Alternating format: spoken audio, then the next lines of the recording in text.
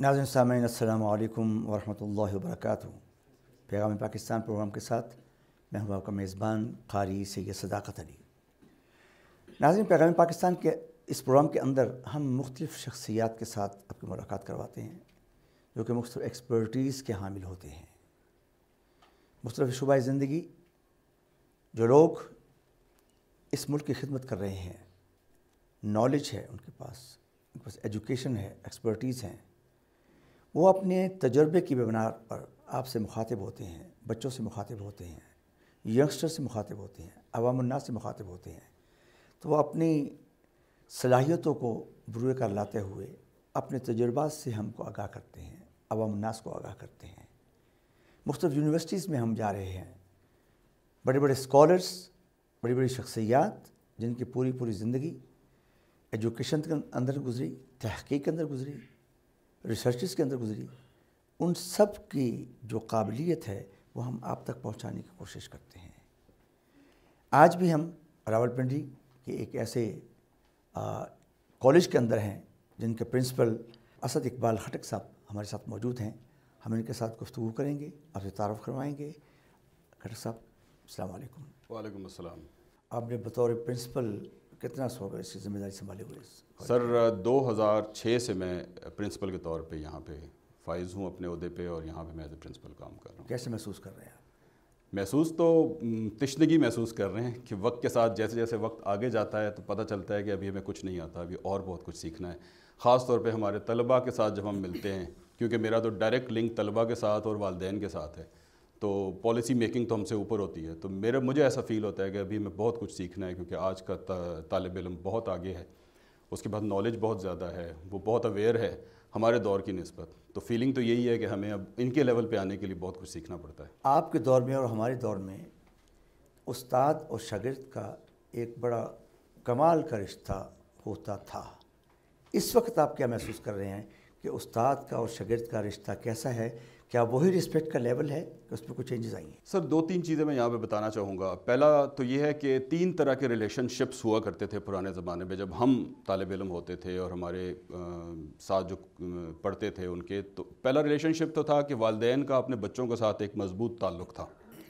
وہ رات کو کھانے کی ٹیبل پہ ایک ساتھ بیٹھتے تھے، آپس میں بات چیت کرتے تھے، اپنے دکھ، درد شیئر کرتے تھے، بچے ان کو اپنے بارے میں بتاتے تھے، والدین ان کو سمجھاتے تھے۔ وہ جو ایک موٹیویشن ہوتی تھی، وہ بچوں کو والدین سے ملتی تھی۔ ہم رات کو بیٹھتے تھے کھانے پر اور ہمارے بزرگ بیٹھتے تھے اور ہمارا ہر مسئلہ سنتے تھے اور ہمیں ہر چیز کا جواب دیتے تھے۔ لیکن آج کل انفارچونیٹلی وہ ایک لنک جو پیرنٹ اور اسٹوڈنٹ بچے کا ہے، باپ اور بیٹے کا، وہ مسنگ ہے۔ دوسرا لنک ہے پیرنٹ کا استاد کے ساتھ۔ ان دنوں میں ہمیں یاد ہے کہ ہمارے دور میں ہمارے والدین جب اسکول میں آتے تھے یا کالج میں آتے تھے تو ہماری جان نکلی ہوئی ہوتی تھی کہ پتہ نہیں یہ کیا بات کر کے جائیں گے، والدین کو ٹیچرز کیا بتائیں گے۔ رسپیکٹ کا یہ ایک ہمارے اوپر ایسا ایک اثر تھا کہ ہم بہت زیادہ دبے ہوئے تھے کہ ہمارے والدین کو کوئی غلط بات نہ بتا دی جائے یہاں سے اسکول سے۔ اس کے بعد تیسرا ریلیشن تھا ٹیچر کا اسٹوڈنٹ کے ساتھ۔ تو آپ نے مجھ سے تیسرا ریلیشن ابھی پوچھا ہے، لیکن پہلے دو کی وضاحت ضروری تھی۔ اب ٹیچر کا تو اسٹوڈنٹ کے ساتھ وہ ریلیشن قائم ہے۔ ٹیچر تو اپنا رول پلے کر رہا ہے، لیکن جو والدین کا رول ہے کہ وہ ٹیچر کے پاس آ کے کتنی دفعہ ملتا ہے، وہ مسنگ ہے۔ اور اس کے علاوہ جو پہلا کنیکشن تھا، جو کہ ہمارے بزرگوں کے ساتھ بچے بیٹھ کے گپ شپ لگاتے تھے، شاید وہ اب موبائل فون نے وہ جگہ لے لی ہے۔ بچے اپنے کمرے میں کھانا منگواتے ہیں، بچے اکیلے بیٹھے ہوئے ہوتے ہیں، تو والدین کے ساتھ وہ ریلیشن ختم ہو چکا ہے۔ تو میرا خیال ہے کہ ان ریلیشنز کو واپس لانے کے لیے بہت سی ورکنگ کی ضرورت ہے اور جب تک یہ تین ریلیشن آپس میں قائم نہیں ہوں گے ہمارا جو سسٹم ہے وہ نہیں چل سکتا۔ طلباء کے جو مسائل آپ محسوس کرتے ہیں مشاہدات آپ کے ہیں اس کے حوالے سے آپ کیا کیا فرمائیں گے؟ طلبہ میرے پاس تو ظاہر ہے سب سے پہلے تو بچہ آتا ہے ایڈمیشن کے لیے۔ جب بچہ آتا ہے تو ہمارا پروسپیکٹس دیکھتا ہے یا ہمارے جو آفرڈ پروگرامز ہیں وہ دیکھتا ہے اور سب سے پہلے آ کے جو میں فیل کرتا ہوں جو کہ نہیں ہونا چاہیے۔ وہ یہ ہے کہ اسٹوڈنٹ آگے سب سے پہلے یہ دیکھتا ہے کہ میرا جو قریبی دوست ہے وہ کون سے پروگرام میں جا رہا ہے۔ جس پروگرام میں اس کا قریبی دوست یا بہن یا بھائی جا رہا ہے وہ اسی میں جانا پسند کرتا ہے اور اس کا یہ ٹارگٹ ہوتا ہے کہ ہم مل کے بیٹھیں گے انجوائے کریں گے، پڑھ لیں گے۔ تو پہلی تو یہ چیز ہے کہ بچہ اپنی جو پرسنالٹی ہے اور جو اس کے اندر جو ریکوائرمنٹس ہیں یا اس کی جو اسکل لیول ہے اس کے اوپر نہیں جا رہا۔ تو یہ ایک گیپ ہم فیل کرتے ہیں کہ بچے کو ایک دباؤ کا سامنا ہے کہ وہ اپنے سوسائٹی سے بہت زیادہ دباؤ ہے۔ یا وہ اپنے دوستوں سے انسپریشن لے رہا ہے، یا وہ جو مارکیٹ میں نالج اویلیبل ہے، اس سے انسپریشن لے رہا ہے۔ یعنی میں آپ کو اگر آج کی بات بتاؤں تو ہمارے پاس جتنے ایڈمیشنز ہوتے ہیں تو نائنٹی پرسنٹ بچے کی خواہش ہے کہ اسے کمپیوٹر سائنس یا آئی ٹی میں ایڈمیشن ملے۔ کیونکہ اس نے کہیں سے سن رکھا ہے کہ کمپیوٹر سائنس کا فیوچر بہت زیادہ برائٹ ہے۔ لیکن کیا یہ بے شک یہ بات صحیح ہے لیکن کمپیوٹر سائنس کو تو بزنس کی اسٹڈی کی بھی ضرورت ہے۔ کیا بزنس گریجویٹس وہاں پہ ہوں گے تو ان کا کام چلے گا۔ آنٹرپرینیورشپ کی بھی ضرورت ہے۔ تو ان چیزوں کے ساتھ ساتھ دوسری فیلڈز بھی ضروری۔ تو بچہ جو آج کل آتا ہے وہ بالکل ڈائریکشن لیس ہوتا ہے۔ اس کے پاس اتنا نالج نہیں ہوتا۔ ایک ٹریجڈی یہ بھی ہے کہ بچپن سے بچے کو بتایا جاتا ہے کہ تم نے ڈاکٹر بننا ہے انجینئر بننا ہے اور تیسری کوئی فیلڈ نہیں ہے۔ تو بچہ جب میرٹ پر نہیں آتا انجینئرنگ میں یا میڈیکل میں نہیں جا پاتا، تو وہ آ کے ہمارے پاس جب آتا ہے تو وہ مایوس ہوتا ہے۔ وہ کہتا ہے میں بی بی اے کر لوں یا میں سائیکالوجی میں چلا جاؤں یا انگلش میں چلا جاؤں، وہ اس لیے جا رہا ہوں کیونکہ مجھے کہیں اور ایڈمیشن نہیں ملا۔ تو یہ ایک تھاٹ ہے جو میں سمجھتا ہوں کہ پیرنٹس کو بھی اپنا رول یہاں پہ ادا کرنا چاہیے۔ ٹیچر کا رول تو بہرحال موجود ہے، ہم بیٹھے ہوئے رہنمائی کرنے کے لیے۔ لیکن بچہ ڈائریکشن لیس ہے۔ تو آپ نے جو سوال کیا کہ بچہ ہمارے پاس آتا ہے تو کیا فیلنگ ہے؟ تو وہ یہی ہے کہ اس کے پاس ڈائریکشن نہیں ہے، اسے پھر سمجھانا پڑتا ہے، اس کا ایپٹیچیوڈ ٹیسٹ لینا پڑتا ہے، پتہ چلتا ہے کہ بچہ کون سا رجحانات کا حامل ہے۔ اس لائن میں اس کو ہم ایجوکیشن دینے کی کوشش کرتے ہیں۔ پیرنٹس کے ساتھ ہم چاہتے ہیں کہ ہماری میٹنگز ہوں، جو کہ کافی حد تک اس میں تشنگی رہ جاتی ہے۔ خرق صاحب میں نے بھی محسوس کیا، یقین آپ بھی محسوس کرتے ہوں گے کہ بچوں کے اندر دوستیاں زیادہ ڈومینیٹ کر رہی ہیں۔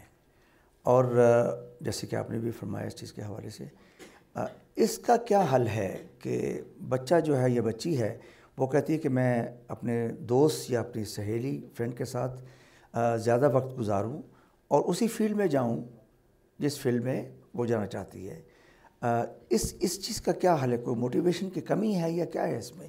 یا پیرنٹس کا رول اس میں کچھ کم ہے۔ بالکل سر مجھے خوشی ہے کہ یہ بات آپ نے پک کی اور آپ کے پروگرام کے توسط سے میں چاہتا ہوں کہ والدین جو ہمیں دیکھ رہے ہیں وہ اس بات پر سوچیں اس بات پر سمجھیں اور اس پہ کام شروع کریں۔ سب بڑا سینسٹیو ایشو ہے۔ جی ایگزیکٹلی اور والدین پریشان ہیں اس حوالے سے۔ والدین بہت پریشان ہیں بلکہ یہاں تک تو یہ حالت ہے کہ پہلے زمانے میں جب والد کسی کے اسکول یا کالج جاتا تھا تو بچہ گھبرایا ہوا ہوتا تھا۔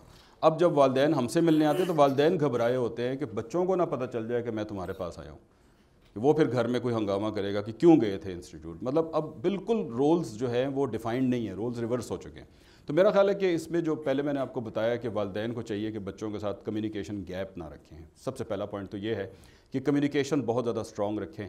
ہم جب اپنے بچے کو خود سمجھائیں گے تو مارکیٹ سے اس کو کوئی بھی انفلوئنس نہیں کر سکے گا۔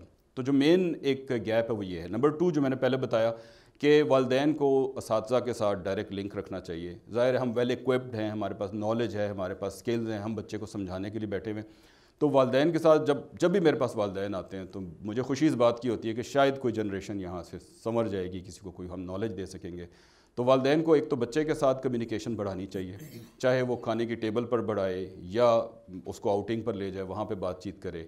اور جو ایک میں نے بات کی ہے شاید اس کا پازیٹیو رول بھی ہو سکتا ہے موبائل فون کا لیکن اس نے ہمیں بہت زیادہ فاصلے کریٹ کر دیے ہیں۔ میں یہی بات کرنے لگا تھا کہ سوشل میڈیا جو ہے یا موبائل ہے یا انفارمیشن ٹیکنالوجی جو اتنی ایڈوانس کر گئی ہے اس کے جہاں فوائد ہیں پازیٹیو چیزیں ہیں نگیٹیوٹی اس میں بہت زیادہ جو ہے وہ انفلوئنس کر رہی ہے بچوں کو۔ مین بات تو یہ دیکھیں جو بھی چیز ہے اس میں پازیٹیو نگیٹیو دونوں پہلو ہیں۔ اب پرانے زمانے میں جب ہم اسکول میں یا کالج میں تھے، ہمیں کسی لفظ کا مطلب نہیں آتا تھا، تو ہم ڈکشنری ڈھونڈتے تھے کہیں سے۔ کسی دوست کے پاس جاتے تھے، گھر میں شاید ڈکشنریز ہر طرح کی نہیں ہوتی تھیں۔ تو ان دنوں میں فیروز اللغات بڑی مشہور ہوتی تھی، اب بھی ہے۔ تو ہم جا کے ڈھونڈتے تھے، اس میں وہ لفظ ڈھونڈ کے لے کر آتے تھے۔ اب آپ گوگل کے اوپر وہ ورڈ لکھیں تو فوراً اس کے اندر سو طرح کے میننگ آ جاتے ہیں سرونمز آ جاتے ہیں آٹونمز آ جاتے ہیں، ہر طرح کی چیز آپ کو اویلیبل ہے۔ تو پازیٹیو رول بھی ہے ٹیکنالوجی کا۔ لیکن ہم نے پازیٹیو رول کو بہت حد تک پیچھے دھکیلا ہوا ہے۔ ہم سوشل میڈیا کو یوز کرتے ہیں صرف اپنی چیٹنگ کے لیے، اپنی گپ شپ کے لیے، باتوں کے لیے ویڈیوز بنانے کے لیے۔ ہماری بیٹیاں، ہماری بہنیں گھر بیٹھ کے اپنی ویڈیوز بنا کے اس میں ڈالتی ہیں۔ تو اس کے اوپر والدین کا چیک بہت ضروری ہے۔ کیونکہ بچہ ہمارے پاس آتا ہے انسٹیٹیوٹ میں چار سے پانچ گھنٹے کے لیے لیکن انیس بیس گھنٹے وہ اپنے گھر پہ گزارتا ہے۔ تو میرا خیال ہے والدین کا رول یہاں پہ اگنور نہیں ہو سکتا۔ ان کو اپنا رول پلے کرنا پڑے گا یہ دیکھنا پڑے گا کہ بچہ اس کا کیا کر رہا ہے کتنا ٹائم کہاں چیک اینڈ بیلنس بہت ضروری ہے۔ I think it's so unfortunate کہ ہمارے بھی ہم بھی بچوں والے ہیں۔ والدین اس بات سے بھی پریشان ہیں کہ بچوں کو ہم کوئی بات کہتے ہیں تو وہ ان کو بات اچھی لگتی نہیں ہے۔ جو ان کو ان کے اس کے فریکوینسی کے ساتھ میچ نہیں کرتی ان کو اس کو تکلیف ہوتی ہے۔ میں سمجھتا ہوں کہ ہمارے جو بچے ظاہر ٹی وی پر اس وقت پروگرام دیکھ رہے ہیں ان کو اس چیز کا خیال کرنے کی ضرورت ہے کہ آپ کی بہتری کے لیے استاد اور ماں باپ سے بہتر کوئی رشتہ نہیں ہو سکتا۔ سر، میں ایگری کروں گا آپ کی بات سے اور ابھی میں نے یہ بات بھی بتائی کہ اس کی ایک مثال بھی دی کہ والدین چھپ کر آتے ہیں ہمارے پاس، بچوں سے بھی چھپ کر آتے ہیں۔ تو وہ آپ کی بات بالکل صحیح ہے۔ بچپن سے ہم بچے کو جس طرح لے کے چلتے ہیں اور ایک بات میں یہاں پہ کرنا چاہوں گا اس پہ اسکول کا بہت زیادہ رول ہے۔ ہمارے اسکول میں بچوں کو جس طرح کے انوائرمنٹ دیا جاتا ہے، اس کے بعد بچے اپنے پیرنٹس کے سامنے آ کے کھڑے ہو جاتے ہیں۔ اور ہمارا جو اگر ہم اپنے پاس میں جائیں تو ابھی بھی ہمارے والدین، ہمارے چچا پھوپیاں بچوں کی ابھی بھی موجود ہیں جنہوں نے اس آئیڈیل سسٹم میں پڑھا ہے۔ بچوں کو ان کے ساتھ زیادہ وقت گزارنا چاہیے۔ میرا خیال ہے کہ والدین کا کام ہے کہ بچوں کو اپنے بڑوں کے ساتھ وقت گزارنے کا موقع دیں۔ اور جو بات آپ نے کی کہ بچے کا خیر خواہ کون ہو سکتا ہے، تو میں اس پہ ہنڈریڈ پرسینٹ ایگری کرتا ہوں کہ والدین اور استاد کے علاوہ کوئی تیسری پرسنالٹی ایسی نہیں ہے جو ان کے حق میں جائے۔ اور جو ایک بات آپ نے پہلے پوچھی تھی کہ بچے کو اپنے دوستوں اور ان پہ زیادہ ٹرسٹ ہے تو یہ بالکل صحیح ہے، کیونکہ وہ فن چاہتے ہیں، وہ گیمز چاہتے ہیں، وہ انجوائے کرنا چاہتے ہیں ٹائم کو۔ ایجوکیشن کو بھی انجوائمنٹ بنایا ہوا ہے۔ اگر ہم کبھی کسی بچے کا سیکشن چینج کر دیں، حالانکہ ایک جیسی تعلیم ہوتی ہے، تو بچہ رات کو گھر جا کے کھانا نہیں کھاتا، دو دو دن بھوکا رہتا ہے، خاص طور پہ گرلز کی ایک کیفیت ہوتی ہے، والدین آ کے ہمارے ہاتھ جوڑتے ہیں کہ ان کو واپس اسی سیکشن میں بھیج دیں تاکہ وہ اپنی سہیلی کے ساتھ بیٹھ جائے۔ تو یہ چیز ہمارے لیے بھی ایک بڑا لمحہ فکریہ ہے کہ انفلوئنس والدین اور بزرگوں کے علاوہ کے بجائے بچوں پہ اپنے دوستوں کا بہت زیادہ اچھا اس وقت جب بچے بچیاں کالج یونیورسٹی میں ہوتی ہیں، ان کو یہ احساس نہیں ہوتا، ان کو غصہ بھی لگتا ہے، اچھی بات بھی نہیں لگتی کہ ماں باپ یہ کہہ رہے ہیں، ہمارا استاد یہ کہہ رہا ہے۔ مگر الٹیمیٹلی جب وہ پریکٹیکل لائف میں جاتے ہیں، تو پھر کہتے ہیں کہ ہاں میری ماں نے یہ بات صحیح کی تھی، میرے باپ نے یہ بات صحیح کی تھی، میرے استاد نے یہ بات کہی تھی۔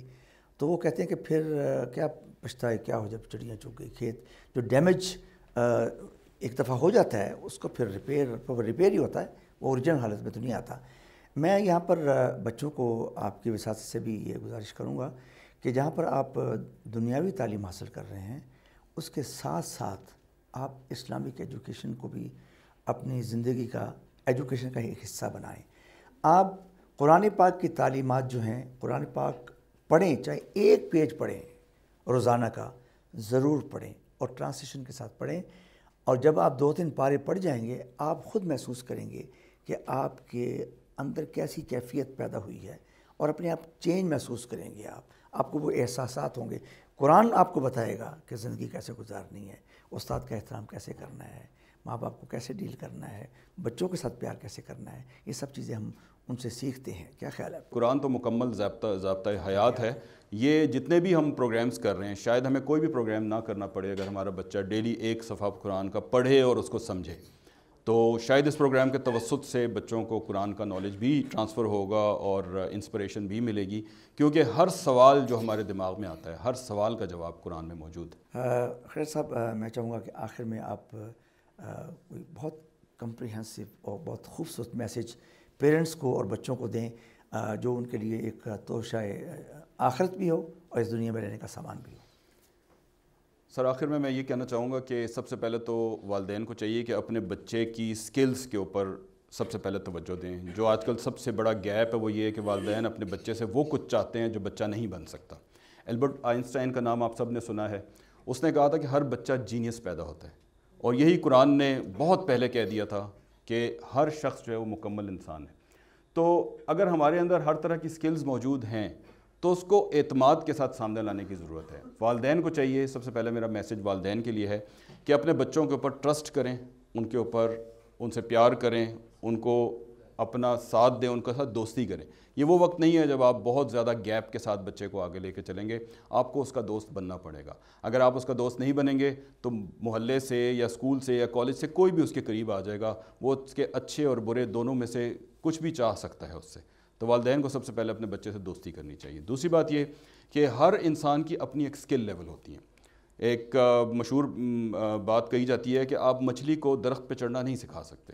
ہماری مجبوری ہے کہ ہم ساری عمر ایک مچھلی کو درخت پہ چڑھنے کے طریقے سکھاتے ہوئے گزار دیتے ہیں اور بعد میں پتہ چلتا ہے کہ وہ تو اس قابل ہی نہیں تھی۔ تو ہمیں بچے کے سکل لیولز کو آگے لینا چاہیے۔ ایک فلاسفر ہے جس کا نام ہے ہاورڈ گارڈنر۔ اس نے ایک کتاب لکھی تھی جس میں اس نے بتایا تھا نائنٹین ایٹی تھری میں کہ تقریباً سکس نائن ڈفرینٹ طرح کی پرسنالٹیز یا مختلف سکلز ہو سکتی ہیں۔ شخص کے اندر۔